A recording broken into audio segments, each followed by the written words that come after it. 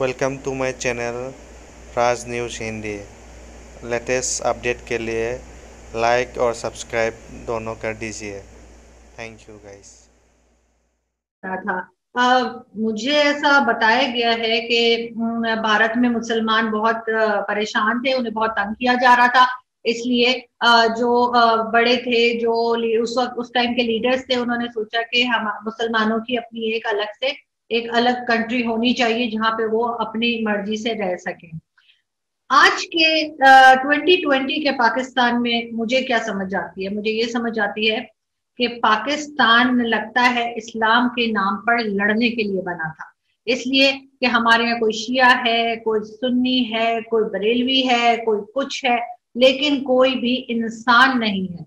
हम किसी को इंसान समझते ही नहीं है। हर कोई हमारे हिसाब से काफिर है यहाँ पर पाकिस्तान में इस वक्त एक अल्लाह का इस्लाम चल रहा है और एक मौलवी का इस्लाम चल रहा है। जो मुल्ला माफिया है, वो हमें हर तरह से ये बताती है कि जी जो दूसरे फिरके के लोग हैं, वो असल में काफिर हैं। और सिर्फ़ और सिर्फ़ एक हम ही हैं जो मुसलमान है। सिर्फ़ अपने आप को मुसलमान बताते हैं और इस्लाम की किसी चीज़ को फॉलो नहीं करते। इस्लाम में तो कहीं नहीं लिखा हुआ, ना ही कहीं कुरान में लिखा हुआ है। शिया सुन्नी का ज़िक्र लेकिन हम बहुत करते हैं। मेरा नाम आरज़ू काजमी है। काजमी शिया भी होते हैं और सुन्नी भी होते हैं। मैं जब अपना नाम किसी को बताती हूँ तो मुझसे पहला सवाल यही किया जाता है कि मैं शिया हूँ या सुन्नी, जिसका मैं कोई जवाब नहीं देती। क्योंकि मुझे पसंद ही नहीं कि मैं इस तरीके से बताऊँ और क्या कहना है और क्या नहीं। ये एक अजीब किस्म की चीज़ है जो आपको पाकिस्तान में ही सिर्फ़ देखने को मिलेगी। और ये मुल्ला का जो इस्लाम है ये आपको हर तरह से ये ये बताने की कोशिश करता है कि आपने अपनी ज़िंदगी कैसे गुजारनी है। जैसे कि वो ज़िंदगी आपकी नहीं है, उन मुल्ला हजरात की है। वो आपको बताएँगे कि आप इससे बात करो, आप इससे बात ना करो, आप ये करोगे तो आप काफिर हो जाओगे, आप नमस्कार करोगे तो आप काफिर हो जाओगे। और इसी तरह की बहुत सारी चीज़ें जो आप लोग ट्विटर पे भी देखते रहते हैं, जो कमेंट्स आते हैं।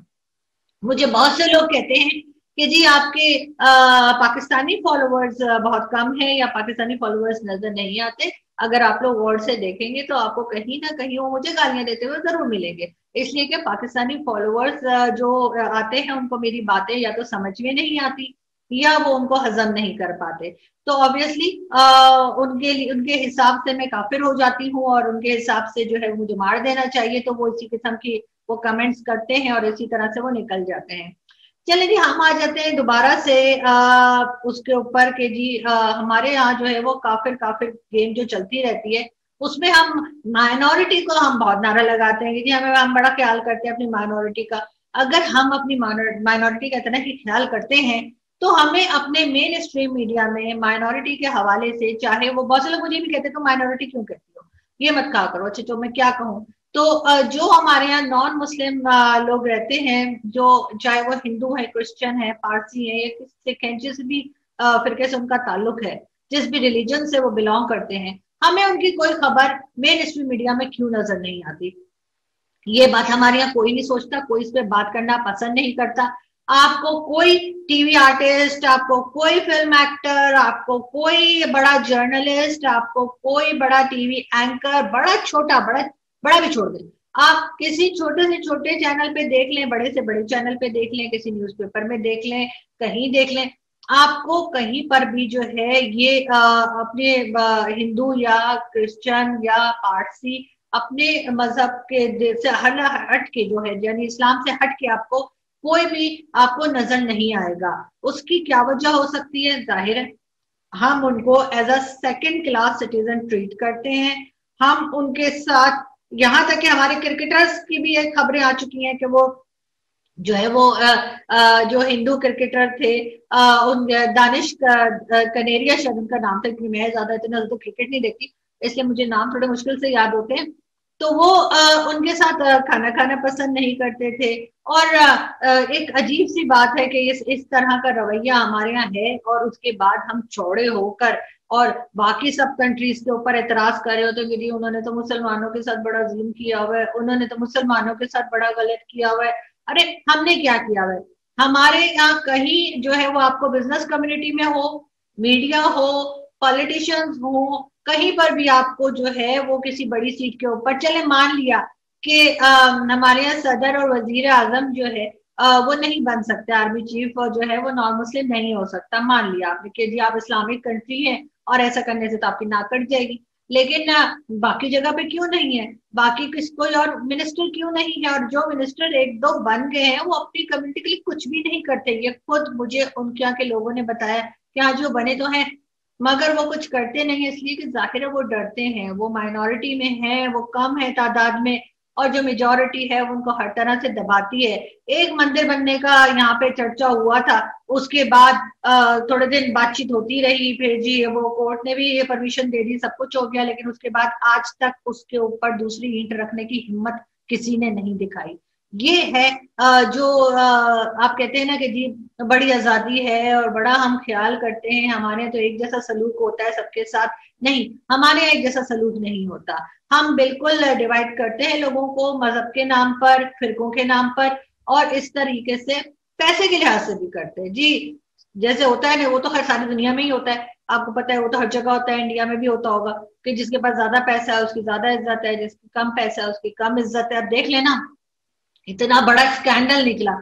इतना बड़ा स्कैंडल निकला है कि जी आ, इतनी सारी जो है पिज्जा की फ्रेंचाइज है उसके ऊपर ना तो उनसे कोई पेपर्स मांगे गए, ना उनसे कोई नवाज़ शरीफ की तरह से कहा गया कि जी बिल कटो, ना उनसे कुछ और कहा गया। उन्होंने फिर भी एक पता नहीं दिखावे के लिए एक रेजिग्नेशन दे दिया, जिसको प्राइम मिनिस्टर ने रिजेक्ट कर दिया और कहा कि नहीं जी, आप काम करते हैं, आप सी पैक पे भी काम करते हैं और आप एज एडवाइजर भी काम करते रहे लेकिन अगर यही चीज़, एक छोटी से छोटा छोटा करप्शन क्या है? छोटी सी चोरी भी अगर किसी की पकड़ी जाती है तो पुलिस वाले जो है थाने में ले जा, ले जाके उस आदमी के हाथ पाँव तोड़ देते हैं। ये बात साबित होने से पहले कि उसने चोरी की भी है कि नहीं।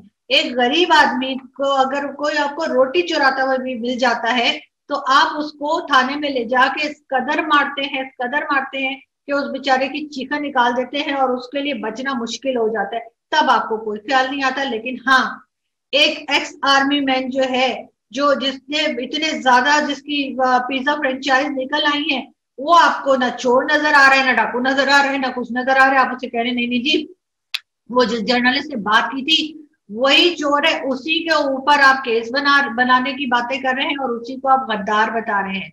एक तो हमारे यहाँ गद्दार की डेफिनेशन ही किसी को नहीं आती कि गद्दार होता क्या है। गद्दारी ये नहीं होती है कि आप सच बोलेंगे तो आप गद्दार होंगे। आप क्या चाह रहे हैं? आपके, आपको तो बस वो जर्नलिस्ट अच्छे लगते हैं जो आपकी वाह वाह करें, कहें कि जी वाह जी वाह, आपने तो बहुत ही ज़बरदस्त किस्म का काम किया है। खैर, हम वापस आते हैं मुल्ला ब्रिगेड की तरफ़। जो मुल्ला है, उन्होंने जो है पूरे पाकिस्तान में अपना एक कर रखा है, अपना एक जैसे कहना चाहिए कि डरा धमका के रखा हुआ है और वो एक और अपनी जो है मुहिम और एक और अपना प्रोटेस्ट और एक और अपना धरना लेके चले हैं, जिसमें वो कहते हैं कि जी, शिया जो है वो काफिर है। अब इसके ऊपर किसी की आवाज़ नहीं निकल रही, कोई उनको कुछ नहीं कह सकता, इतने ज़्यादा तो वो लोग मज़बूत है, हालाँकि उनकी तादाद ज़्यादा नहीं है, लेकिन वो इतने मज़बूत है और हमारे लोग इतना डरते हैं। लेकिन मुझे ये पूछना है कि ये ये मुल्ला जो है, इनको बड़ा इस्लाम याद आ रहा है यहाँ पे, इनको बड़ा बड़ा बुरा लगता है कि जी कोई नॉन मुस्लिम जो है, उसने किस तरीके से जो है वो अपना मंदिर बनाने का सोच भी लिया, हिम्मत भी कैसे हुई उनकी ये सोचने की?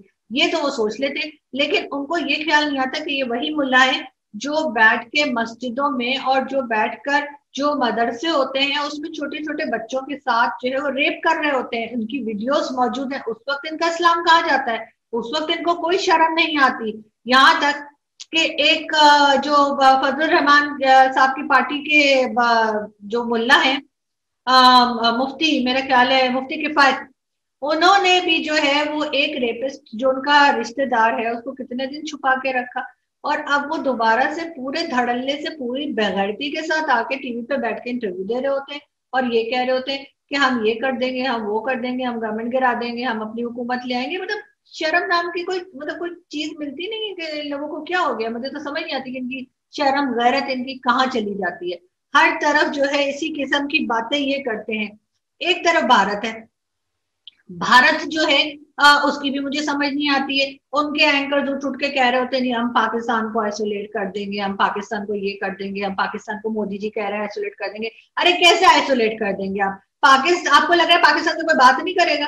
आपको लग रहा है कि पाकिस्तान की कोई सुनेगा नहीं? वो कैसे? भाई, सारी दुनिया से तो हमने, आधी से ज़्यादा दुनिया से तो हमने कर्जे लेके रखे हुए। अगर आप किसी आम इंसान से भी दो चार पैसे ले लें तो वो पीछा नहीं छोड़ता बार बार फ़ोन करता है बार बार फ़ोन करता है हैं पैसे दे दो। तो पाकिस्तान को आप कैसे आइसोलेट कर सकते हैं? जब इतनी सारी दुनिया से पाकिस्तान ने कर्जा लेके रखा हुआ है और पाकिस्तान हर थोड़े दिन के बाद जो है, वो कहीं ना कहीं भेजता है अपने, चाहे वो प्राइम मिनिस्टर हो, चाहे चाहे वो फॉरेन मिनिस्टर हो, चाहे कोई और मिनिस्टर हो, कि जी जाओ जरा जाके उससे थोड़े पैसे कट के ले आओ ना जरा, खर्चा पानी। तो उसके ऊपर आप समझते हैं कि हमें लोग आइसोलेट कर देंगे। कमाल करते हैं भाई, कमाल है पांडे जी, ये तो वही बात होगी। तो लेकिन आप लोगों का भी जो है ना, वो दिमाग जो है, वो मेरा ख्याल है काम वाम करना छोड़ चुका है। क्योंकि आप लोग इसी में पड़े रहते हैं कि सी पैक बन रहा है सी पैक बन रहा है। अब सी पैक कहाँ तक सी पैक की क्या हैसियत है सी पैक की क्या रिजल्ट्स हैं?